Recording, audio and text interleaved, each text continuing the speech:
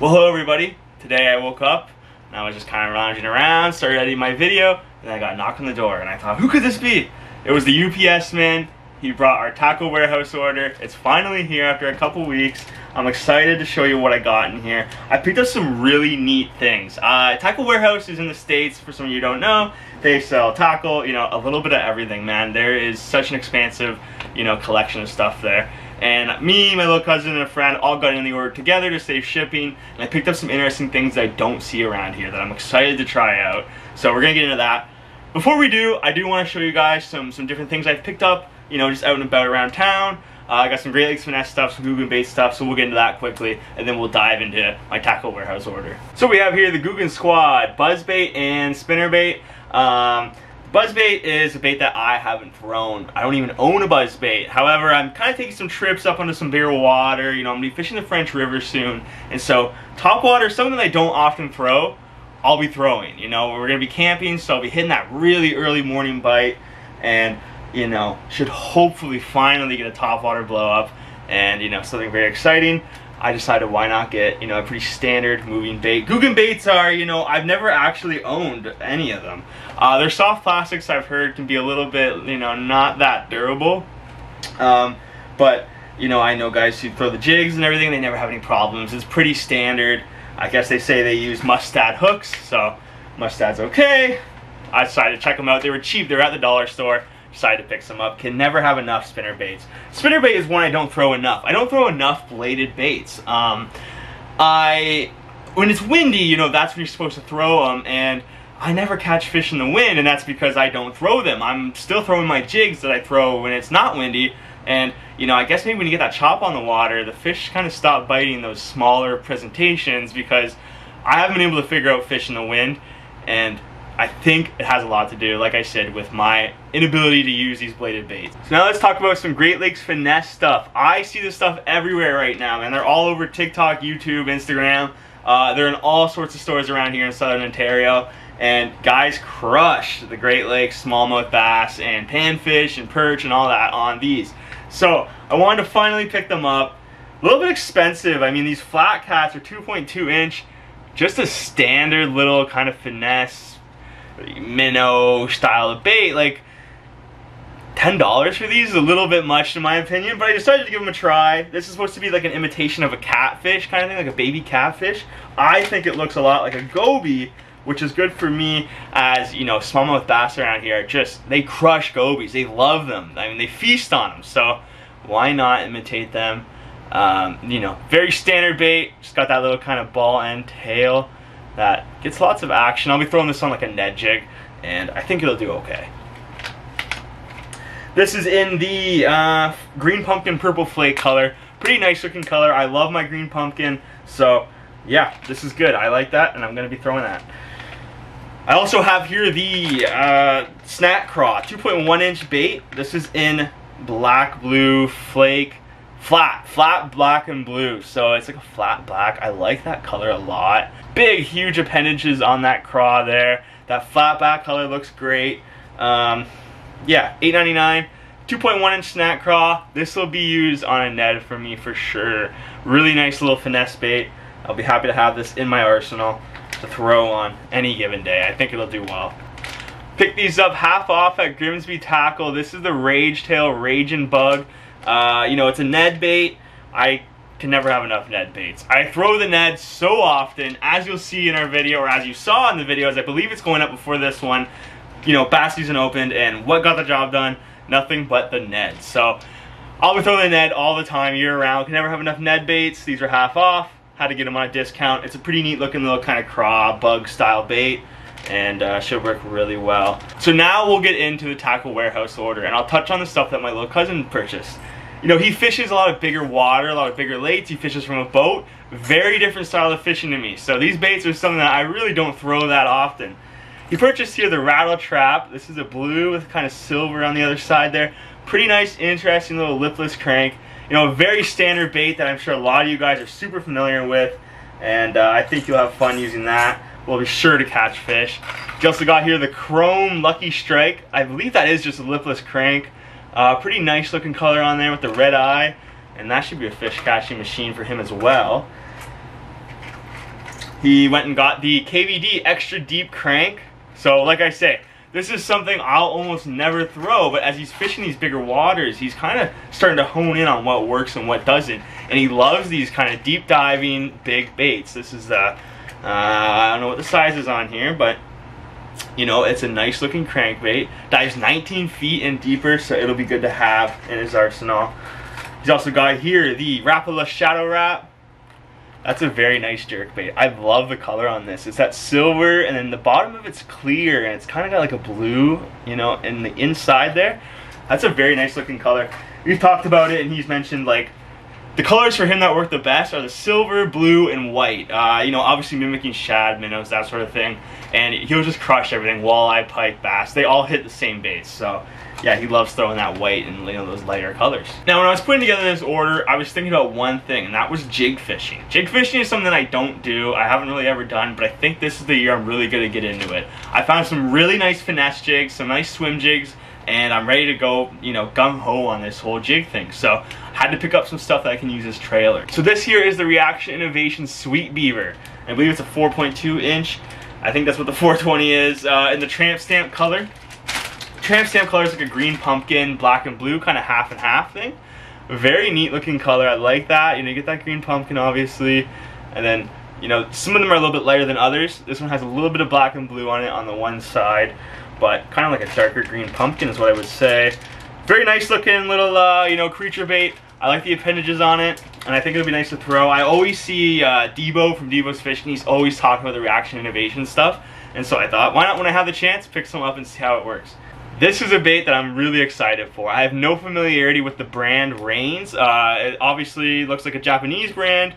Um, however, this is the 4-inch Rock Vibe Shad in green pumpkin. And this looks a lot like a bait that I love, the Mule Donkey Tail. Donkey Tail is like a 2.9 inch bait, so this is a little bit bigger. It's kind of what I've always wanted. I love that, that, that like silhouette of just a long, thin swim bait with a large paddle tail on it. Paddle tails on these don't look that like big and kind of, because, you know, on the, the regular size donkey tail, the paddle tail is, you know, a pretty large part of the bait. It, it gets a lot of action. I don't know if these will get just as much action, but they should be pretty good still. So it's a four inch bait, very long, slender, you know, it tapers down to that tail. I think this will do really good on jigs pretty much all year round. Uh, the donkey tail obviously so versatile. Wanted to get it bigger so I can hopefully get fishing on bigger water and catch bigger fish. So I also got here the Missile Baits. Uh, this is the Mini D chunk in the Super Bug color. Pretty standard kind of chunk trailer. Um, you know, this is a classic you know, what is it, the, the, the Uncle Frank or Uncle, I, I don't remember, the Uncle Josh's pork rinds, I think they were. Um, and you know, that was that sort of chunk style of trailer. People would throw them on jigs and whatever the else. Way, way back, a long time ago, of course. Long before I fished. However, it's still popular today, that kind of style of bait. So, you know, you just got that chunk body that you throw on. And these ones have really nice appendages on them. Something that I've never thrown before, but this is gonna look really nice on like a finesse jig, of course and that is what I picked up. This here is the Dirty Jig 3 8 ounce black and blue uh, jig, you know, standard football jig. I'll bust into it here and I'll show you guys what it looks like with this trailer on because this is the one pairing that I think just out of the box will be very nice. I don't know if you can see that, but that's almost like a wide gap kind of hook. Not what I was expecting on there. That's an interesting, you know, style of hook there. Very standard football head jig. You know, black and blue very, very standard bait. So there you go. I might trim that skirt down just a little bit. I don't know kind of what about, I know a lot of guys, you know, they mentioned trimming down skirts on jigs, kind of trying to expose that, that soft plastic and get that more of the action. You know, the skirt is a little bit long on a lot of them, I guess. I wouldn't know exactly where to start. I might look more into that, of course, but that looks really nice. You know, in the water, those appendages are going to be flopping up and doing lots of action that's kind of the perfect size for it there. And I've just, you know, put that on the hook. I haven't even put it all the way up as there's a pretty big bait keeper kind of looking thing there, but that's a very nice setup. I'm excited to throw that. I think that'll do really well. So as you know, I love throwing my micro jigs. I found these. These are from Missile. It's the Ike's micro jig. It's a very small finesse little jig here. It's a number one jig hook, you know, a custom skirt they say. Uh, 116 ounce should be a very nice size. you know, I mentioned before how I throw these these mule jigs and you know just these small little finesse swim baits, and I want more of a bigger presentation. I want the skirt on there, so I thought I'd give these a try. I'm gonna open these up and we'll crack into them. So on a closer look, you know, they have this uh, really large bait keeper on there. I don't love that. Like, it takes up most of the hook. It's so big. I mean, when you're working with these really small hooks and really small jigs, you have small plastics. I can see that tearing plastics up a little more than I would want. But I'm going to rig something up on here and show you what it looks like because this is pretty nice. So it does come with separate weed guards there. I won't use mine though. You know, you can just glue that in. It's pretty straightforward. But I wouldn't really even bother using one. These are so small and where I'm going to swim these and throw these, I'm not that worried about them getting that hung up on weeds um, that a weed guard really feels necessary. Uh, I totally rigged that wrong. But uh, yeah, this is the donkey tail on there. I had to cut it down just like I did with my Midwest Finesse jig in my last video. But I like that, man. That's a nice little presentation, even lighter than the Midwest Finesse one. 116 ounce will be very nice and light, and that'll be fun. Very fun to throw kind of on those hot days. You know, this is the kind of bait that like for example, when you can't get bites on the moving baits, you want something that you can kind of just drop down right in front of those fish and get that reaction bite.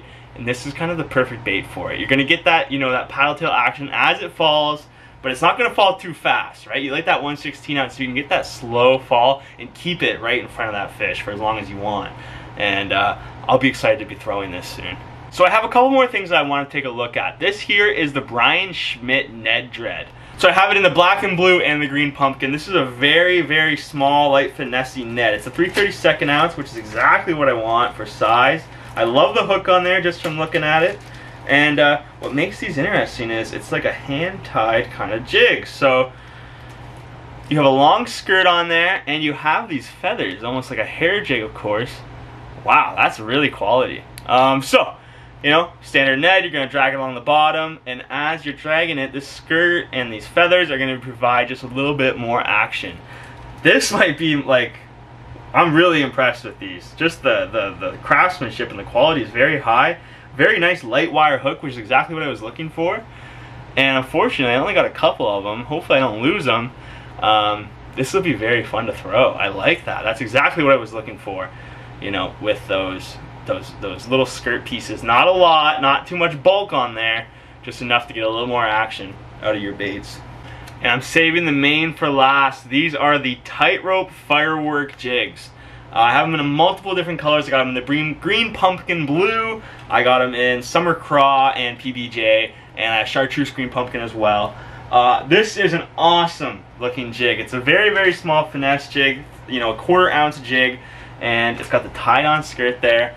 So these were made, I guess, by a couple guys in Chicago, right? It's very big for the Chicago anglers. And the Chicago anglers are catching smallmouth bass in rocky shores in very high pressure environments, which is actually pretty similar to what I fish. Um, and these guys invented this bait here. So it's got the skirt like any other finesse jig, but as you see, that skirt really puffs out. Nice, small, little round ball head jig. That hook isn't too big like I was a little worried light, light, light weed guard on that hook there. The fish will have no problem pinching that down. And so as you're throwing it, that, that uh, skirt is just going to puff right out. And that's nice because not only is it give, you know, a nice kind of uh, a profile that's not too long, it's, it's, it's just nice big profile on a small jig, that skirt keeps it up. So, you know, as it's going on the rocks, it stands up. The skirt that spreads out keeps it out from getting in between rocks and getting snagged up. So that is interesting, a nice little bait. I just love the way that skirt looks. I'll throw that, I'll show you what I'll throw on this right now. I hate how not straight I rigged that, but look, that is the Raging Bug Ned kind of making a comeback in this video. Um, that on this looks really nice. Like I said, not straight at all. I would re-rig that, but just for demonstration purposes, that's the kind of bait I'd be throwing on this. So that is all. It's not a huge bulk order, but there's lots of variance in what I'm picking up and throwing. I want to have just a little bit of everything when I'm out on the water. And I think with this order in, I should be fully covered now. Um, I, just, I love buying tackle. I don't know what to say. I love searching for it online. I love going to different tackle shops, and I'm excited for all this stuff as I've said probably a hundred times in this video. Please like, comment, subscribe, dislike if you did dislike the video. Thank you for watching and tight lines everyone.